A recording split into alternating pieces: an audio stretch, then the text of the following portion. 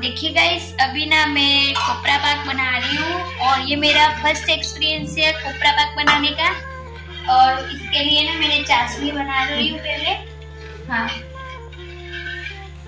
और चाशनी के लिए अभी इसमें पानी डाला है मैंने और शुगर शुगर तो भी इतना पानी मैंने डाला है और एक किलोग्राम शुगर ली है मैंने।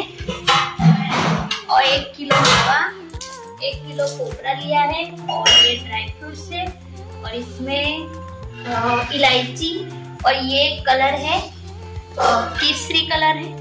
केसरी कलर का कोपरा पाक हम बनाएँगे। तो बाद में मैं आपको दिखाती हूँ कि कैसा बनता है। अभी आप मेरा वीडियो देखना पूरा।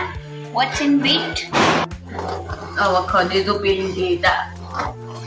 Sumi. कल, अब कलर डाल दे।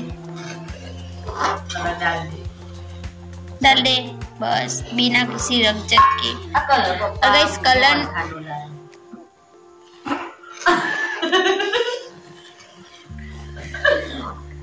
अभी ना हमने इसमें कलर डाल दिया है। चाशनी में, क्योंकि अभी रेडी होने ही वाला है ऑलमोस्ट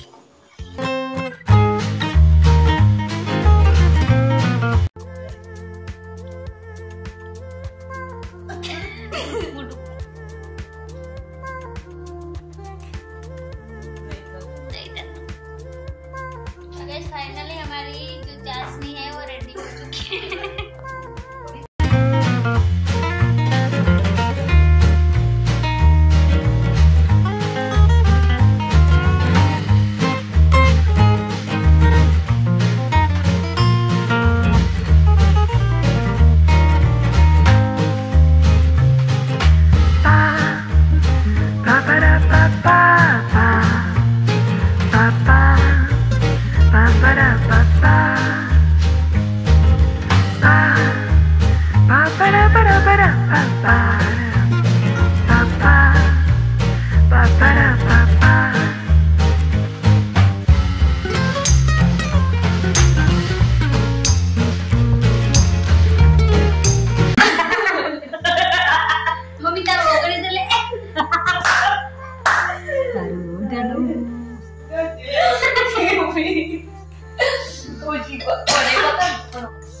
तो अभी कोपरा का पाक बन गया है।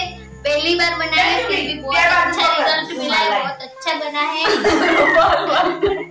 नहीं जितना कर चुका बस। मम्मी सॉरी बोला ना। अब ए नीलम तू पूरा तावे करके नाचती तो बंद कर दी तो रख जा। दो अलग से। पूरा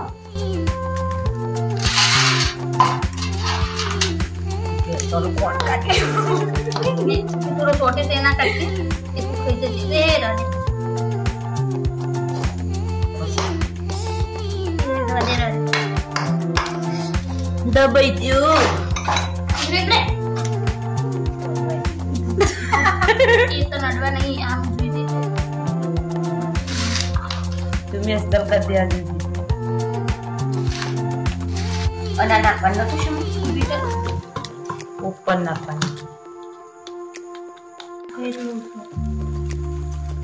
બધા પણ ઢગલો કરી દેશું હા તે કલર બધા નાના પેલા મોહનથા જેવું થઈ ગયું નહીં?